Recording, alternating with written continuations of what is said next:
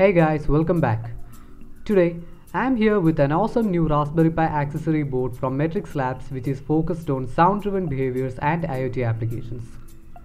I pre-ordered this a few months back and finally got my hands on it. Since it is a new member of the Raspberry Pi family, I decided to make a quick unboxing video and introduce you to this board before starting the tutorials. Okay, let's start. This is the package. Let us open it.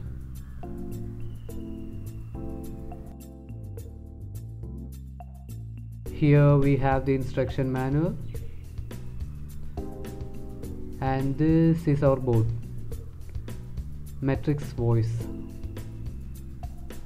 As I said earlier, this is the development board mainly focusing on voice driven and IoT projects, so the build is really light and compact. The diameter of this board is only 3.14 inches and weighs around 50 grams.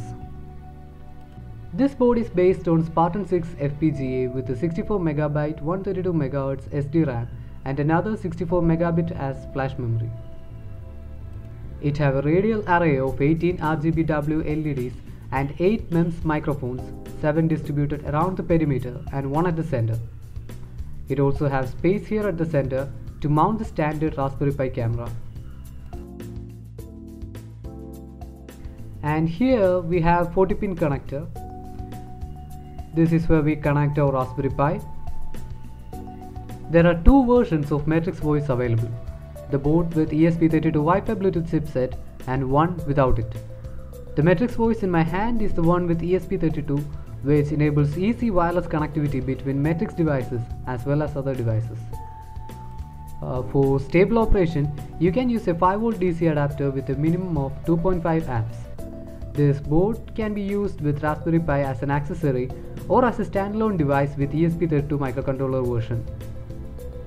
The 8 MEMS microphone array on Matrix Voice allows you to include voice recognition in your project by using the latest online voice services including Amazon Alexa, Google Speech API, Wit.ai, and Houndify. You can easily trigger events based on sound detections using IFTTT. The creators of this board have also made things easy for developers by including their own Matrix OS on the board, which allows developers to build hardware applications for the board only using a few lines of code in Java, Python or C++.